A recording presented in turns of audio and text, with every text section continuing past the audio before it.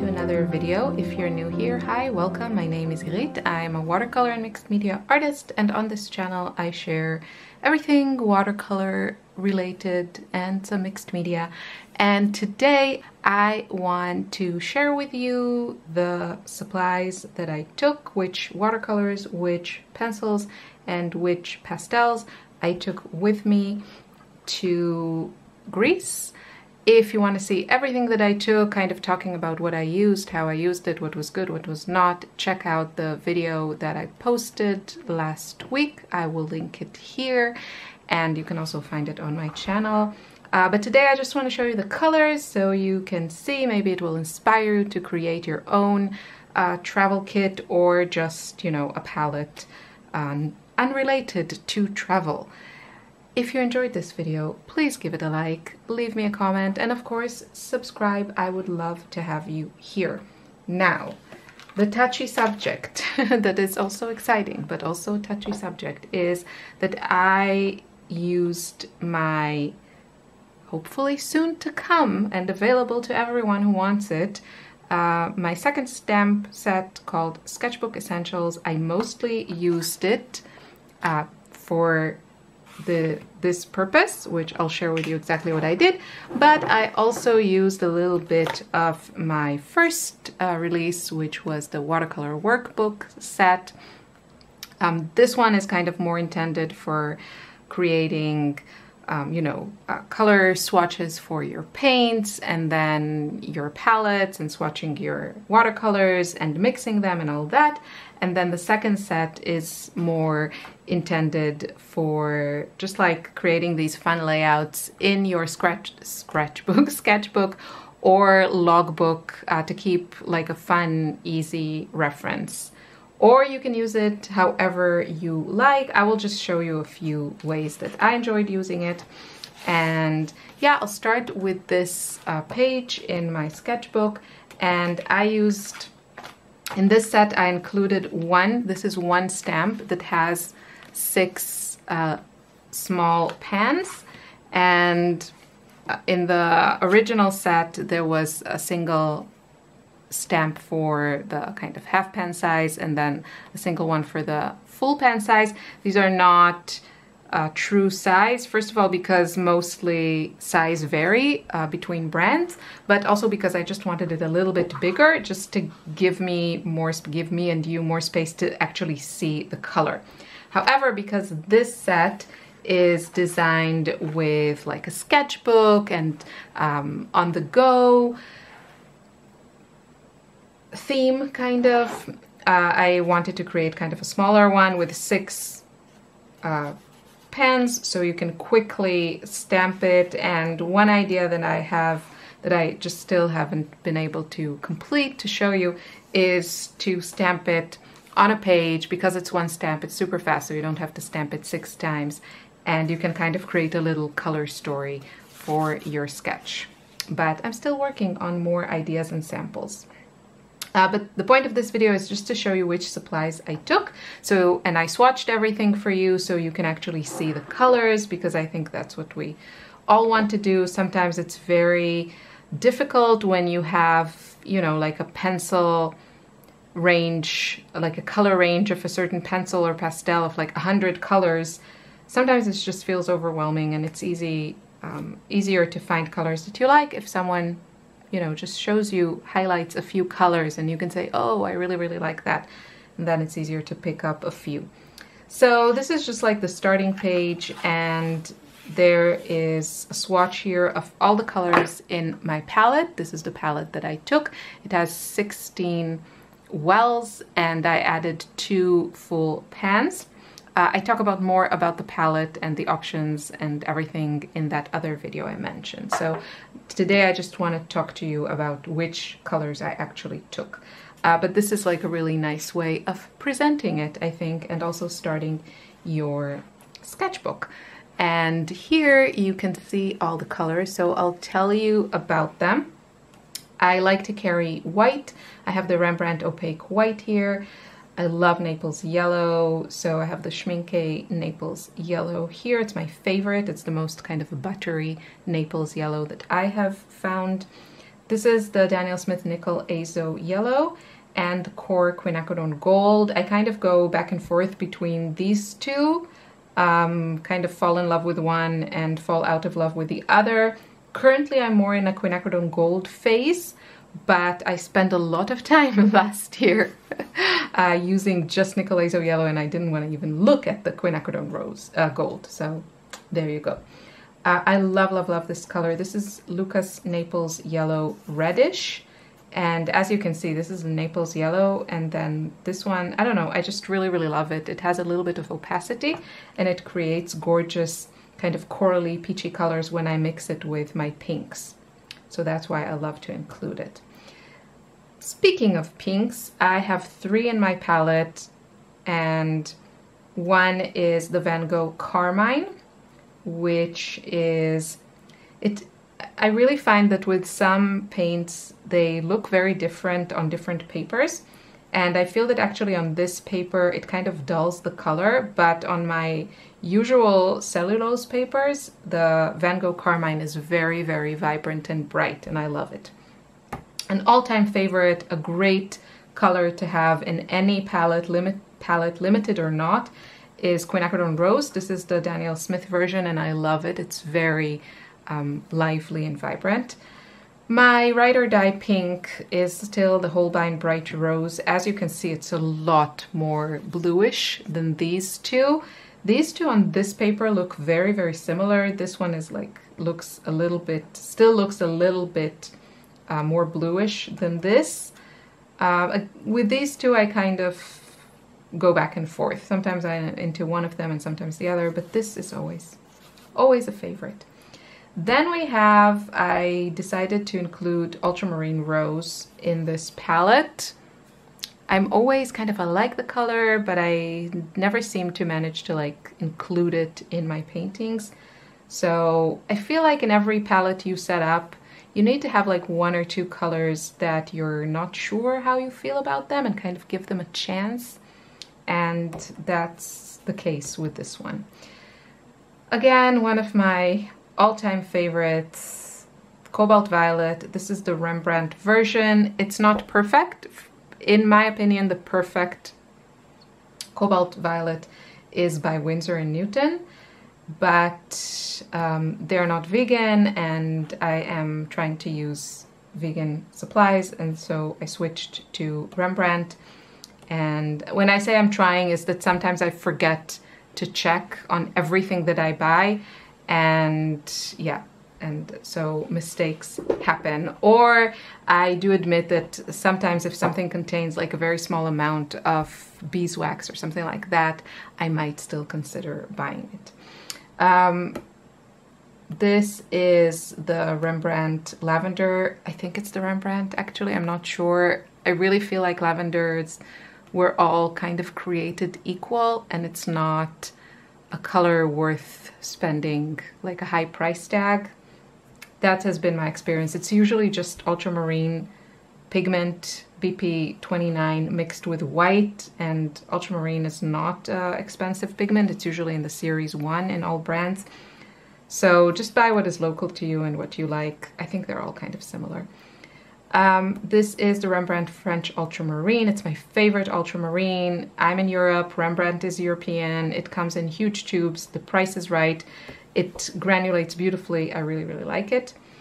The Daniel Smith Amazonite Genuine is a color that I really love and is relatively new in my collection. And I haven't been able to really kind of explore what it does. So I decided it was a good opportunity. Sadly, I didn't paint a lot in this uh, trip, but I had good intentions and I included it in my palette. This is Cobalt Teal. To be perfectly honest, it's a color that I have in all my palettes and I have yet to meet a Cobalt Teal I didn't like. Usually it's called Cobalt Teal or, or Cobalt Turquoise. Daniel Smith calls theirs Cobalt Teal Blue. Some brands have a cobalt turquoise that is not this color, that is slightly more muted. So you want to look usually for pigment PG50 and I think almost all of the like artist quality brands make a turquoise or teal from this pigment and I personally love it in small amounts, but I love it. Then we have here my current favorite green, Daniel Smith Olive Green. Really, really like their version. It's a multi-pigment one, but I feel like it has a depth that a lot of like gold greens don't have. And so that has been kind of the recent green that I include in my palettes. And then for the neutrals, I went with Daniel Smith Hematite Burnt Scarlet Genuine, which is just the most special, beautiful color. You can see it here. It has this granulation and it has like its base color is this kind of pale pink. It's really, really beautiful. Every time I swatch it, I go gaga over it. It gives me the feels. And yet I have still kind of struggled to incorporate it into my color stories, but I really want to because it's such a beautiful color. Um, unfortunately, again, on this trip, I didn't manage to, you know, solve that mystery and find the color story that works uh, with this. This is the Rembrandt Dusk Pink. The Dusk series from Rembrandt are basically like oxide black or granulating black mixed with other pigments and my favorite is the pink and the yellow. I don't like the purple and green that they have. And yeah, the yellow, I have been dusk yellow. It's more of like um, a green actually, like an earthy green. I have used that a lot in the last year, but um, didn't include it in this palette. And then Moonglow. I know, I know, there's been a lot of talk about the light fastness um, issues with this color and yet I love it and I'm too lazy to mix my own versions and so I use it. When I will be out of it, I may consider a different version, but for now, I just adore this color. It's kind of my go-to dark color and then I can neutralize it with some of my like other, um, mostly the yellows I use to neutralize it and create a really neutral dark color. And that is my limited palette that I took on this trip and I think I would be quite satisfied with this selection. So let's move on to the pastels that I took. I'll just go over the colors and you can see here very clearly the uh, samples. So this is the Neocolor ones that I took and this is the Neocolor 2. I prefer to work with the one uh, because they are water resistant and that's the way that I like to use them. However, the color range of the Neocolor 2 is much better and so, and you, you kind of need to work um, to like try to agitate them a little bit so that they move around. They're not like the Caran uh, pencils, for example, the uh, Museum Aquarelle, which I'll get to in a sec. So I'm okay with using them kind of in the same way that I use the one and just add the few colors that I really like that they don't have in the Neocolor 1 color range. I don't know why. I guess these are much more popular than the ones that are not water soluble and so the color range is not as good. But yeah, I'll show you the colors. This is ochre. Most of these are from the basic set, but I did add a few. This is gold, even though it's green, they call it gold. This is Malish, malachite, I want to say, green, turquoise blue, light blue, ultramarine, purple, scarlet, pink, salmon, Sahara yellow, and yellow. And then from the um, Neocolor 2, and you can see I added, just like activated the pigment after I colored in the stamp and then did a little swatch here. Um, with this you won't be able to do that because these are not water soluble but these are. Uh, we have jade green, a color that I love. It's kind of a minty green and it doesn't come in this. Sky blue, again, it's kind of a lavender version of the pastel. Ultramarine pink, very pretty. Violet purple, I used to love this kind of color, kind of fell out of love with it in the last couple of years, but it's still a nice pastel. This one is beautiful, raspberry red. Then we have orangish yellow and Chinese green, which is kind of like a limey or lemony, lemony yellow. And yeah, so these are the pastels that I took with me. And then the pencils, these are the ones that are not water soluble. And I have, I'm not sure I swatched all of them, but I think I swatched most of them. So we have here, I should have written the, the brand, but I think we can figure it out. So we have here the Spanish orange. This is this one. Then we have Nectar. I really love, I don't know, Prisma, Prismacolor pencils. Um, I agree they're not the highest quality pencils, but I don't think anyone compares with their like color range. Their color range is fantastic. The colors are vibrant, really, really nice to um, play with.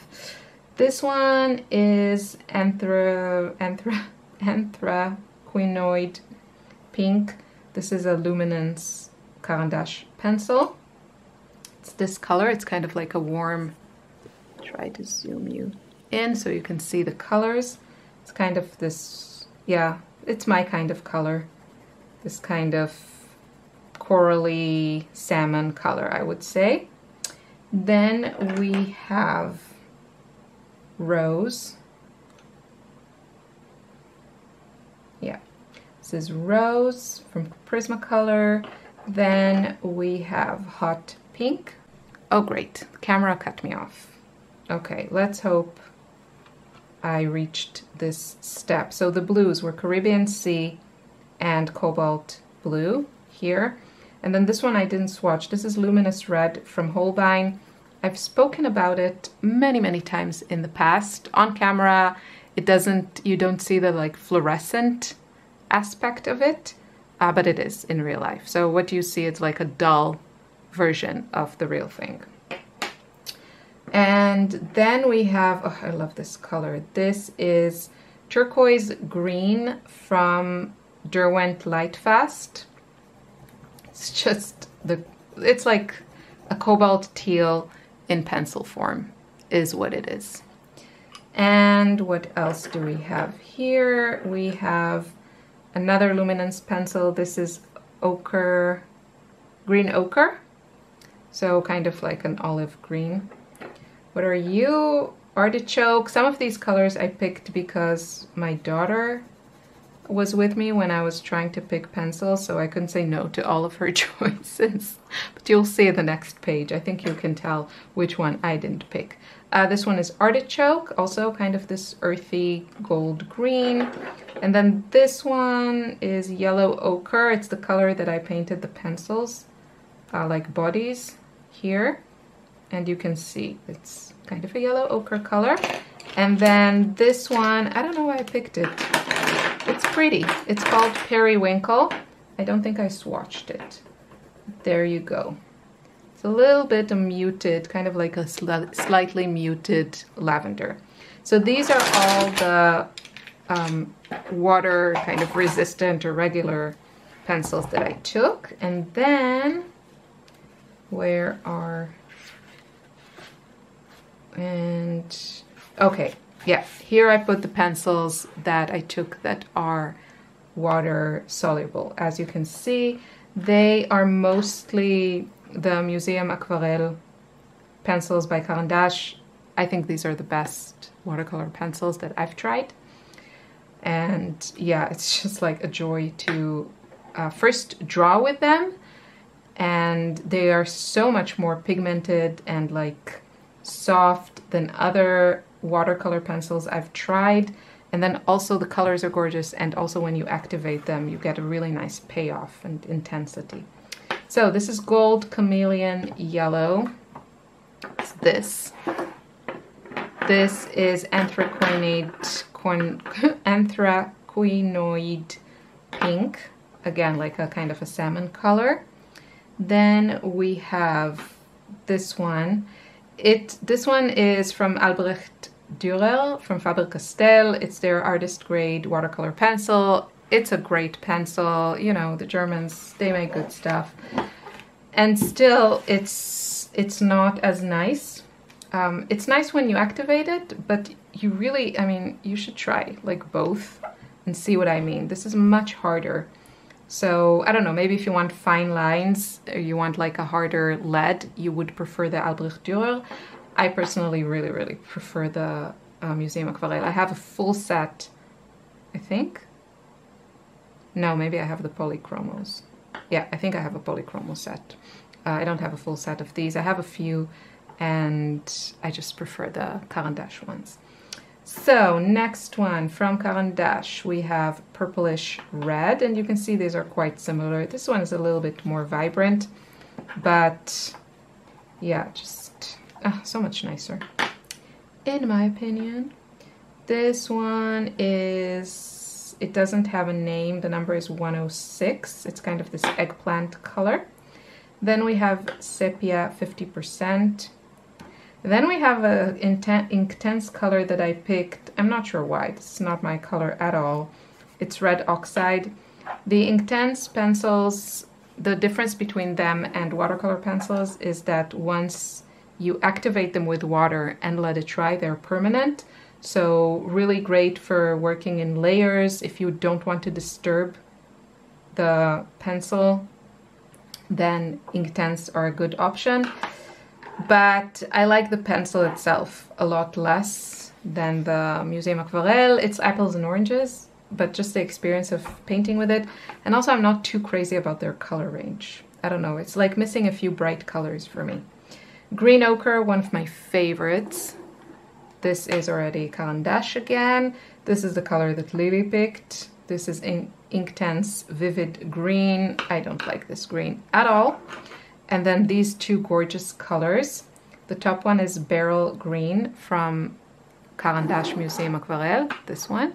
And then this one is, again, this is like cobalt teal in pencil form. This is light malachite green, and these are gorgeous. So again, I use like the pencil stamp to stamp this here just to make it kind of fun. Of course, you don't need the stamp. I mean, it's not available right now, but when it will be available, you can do these things without the stamp. You can just draw this, but obviously with the stamp, it's like fast and you don't have to draw it. Some of the pens that I took, I took the Derwent line makers and yeah, just kind of used one of the pen stamps, water brush, and then a couple of other pencils that I have. And I think, I think that's everything. Yeah, I showed you this and I showed you this. I also have a, a couple of brush stamps so you can stamp them and write which brush brushes you took with you and then a few cute little um, bits and bobs. We have the washi tape here, sorry, the pencil sharpener and yeah, just a few more uh, stamps, which uh, this one I also like, the paper clip. I will talk about these extensively when you can get the set. So I hope you enjoyed this swatching video or talking about swatches and I will see you soon in another one. Take care. Bye bye.